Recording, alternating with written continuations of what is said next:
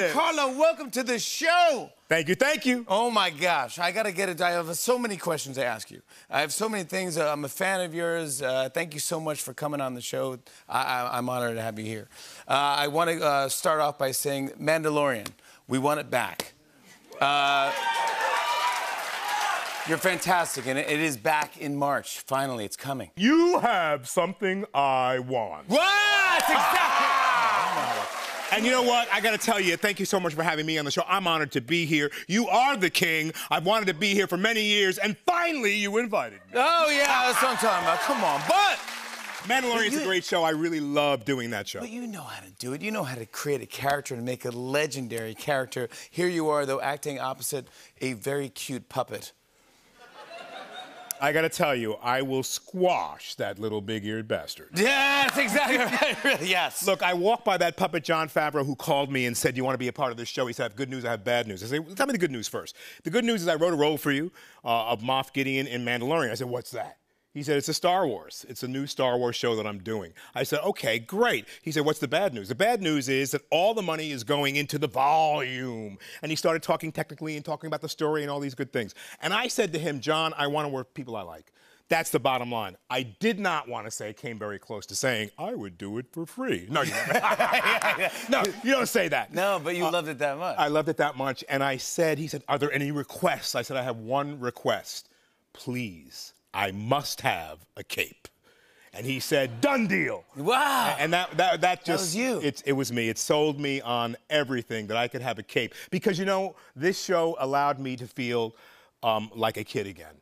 You know, it made me dream again. It made me be in wonder again. It made me feel like I could go any place in the universe and, and carry my dreams, my hopes, and my imagination with me. Wow, that's amazing. I kind of feel that way watching it.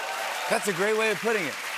Pretty it really, it really is one of the most creative uh, shows to watch that, and to actually watch uh, Grogu come to life. Or that, what did you call it before it had a name? Well, it was called the Child. Yes. For a long time. And it was sitting on a desk, and I walked by, and Jon and I were chatting. I think he's a genius. He's written such a beautiful show. David Filoni, his partner, is also fantastic. This all comes out of a relationship with George Lucas and um, Joseph Campbell. So, what we love about the show, you may not know, is that it's the power of the mythology of the show, that you can see your hero and your heroine within Mando. And we walked by a table. He said, Hey, just casually, you want to you wanna take a look at the, the child?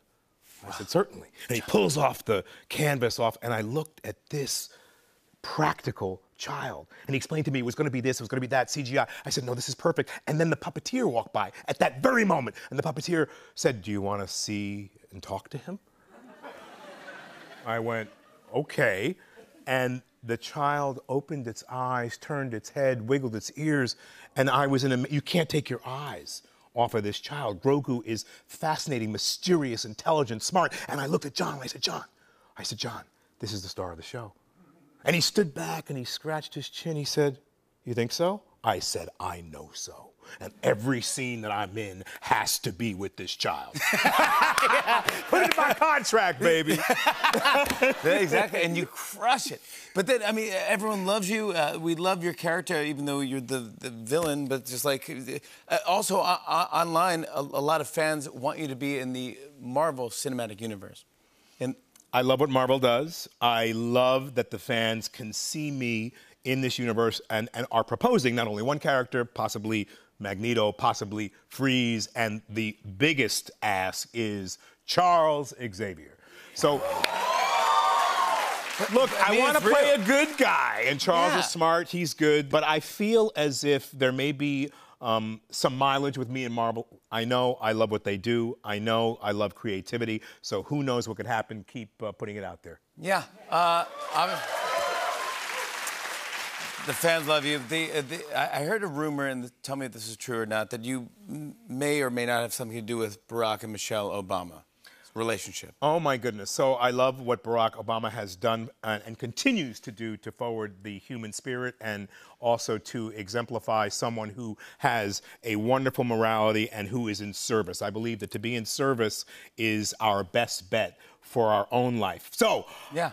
I was at the Democratic convention, Uh-huh. and uh, I was uh, standing about mm, from here to the monitor from Barack when he made his speech, and I was so very impressed. I was Robert F. Kennedy Jr. We walked out. He said, "I'm going to get the car," and I said, "Okay, I'll wait for you." And uh, I'm walking, and uh, I hear "Yo." And I'm like, who is yoing me? You're like Sylvester I- I- Stallone yeah, is you know here. me, Yo, I'm, I'm yo. not in the neighborhood. Yeah. I'm, I'm, you know, yo, again. And I turn and I see these two gentlemen. And as they start coming toward me, I realize one is Barack Obama. I'm like, what? You got to be kidding me. He's like, I just got to talk to you. I got to talk to you. Do the right thing is one of my favorite movies. Tells me a whole story about how he bought Michelle ice cream and how they went to see Do the Right Thing for their very first date. And so I, I saw the future. Yeah. And I saw that he um, was just a beautiful human being and knew who he'd be. I finally got a chance to tell him, You're going to be the president of the United States one day. Just stay the course. You said that to him. Of course I did. Yeah, of course you did. That's exactly the way to do it. That's exactly right. You knew it. I knew it. Uh, I, I want to talk about uh, the, this new series, Kaleidoscope. Uh, uh, before I even kind of get into what it's about, I like the idea that's on top of the idea. Is that, and tell me if I've got this correct. Every Netflix account is, is set up differently. Some you have different algorithms or whatever that. So when I watch Kaleidoscope, I will start at a different episode than if you watch Kaleidoscope. It just the episodes are all different. Correct. Correct. One of the fascinating things about Kaleidoscope, which I'm very, very proud of, is that their delivery system is that you can choose how you watch it, which means you're choosing how the story unfolds. There are no numbers. Uh, one, two, three, four, five. Um, there are only colors orange, blue, green, yellow, white. Uh, Yeah. It is violet. And so it's fascinating. It's a kaleidoscope of color, thus the title Yep. that ties us in. But the most wonderful thing is that the story is connected via character and event. One event surrounds all eight episodes. You should watch White last, I suggest. And it spans 25 years. And I play a character named Ray Vernon in the beginning who is a master thief.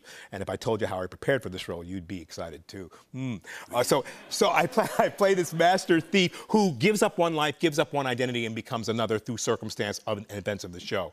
What in really drew me to the show was that you, as an audience, I as an audience would have a choice as to how I wanted to see it happen. And there are all these Easter eggs and clues throughout all that connect every story. So you can see one complete heist. It's about a heist that took place mm-hmm. during a hurricane back in the late 70s, early 80s of 70 mil- billion dollars in unsecured bearer bonds. And because of this particular heist that happened in history, we're loosely based on that.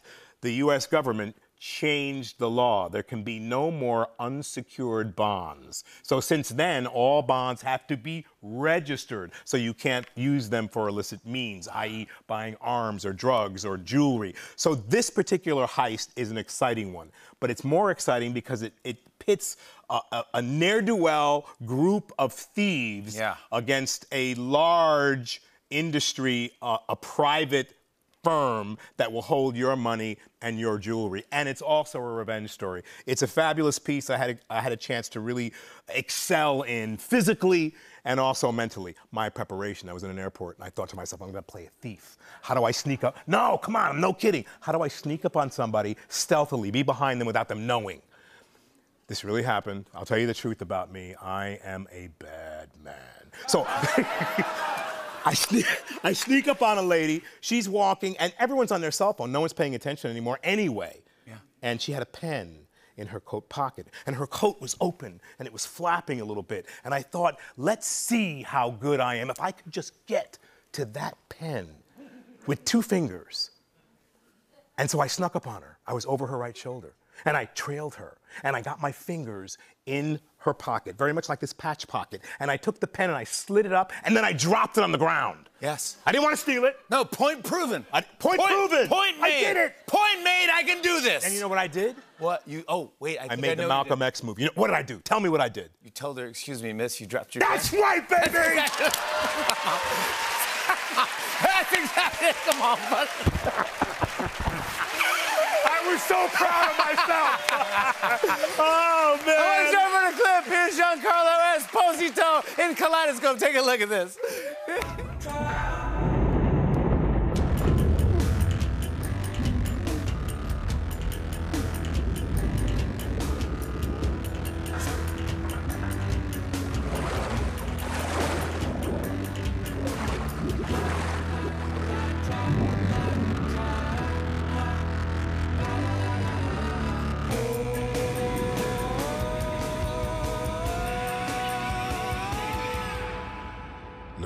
pinpoint the exact moment it all fell apart. Giancarlo Esposito! Kaleidoscope is streaming now on Netflix. We'll be right back with a performance from Always. Stick around, everybody.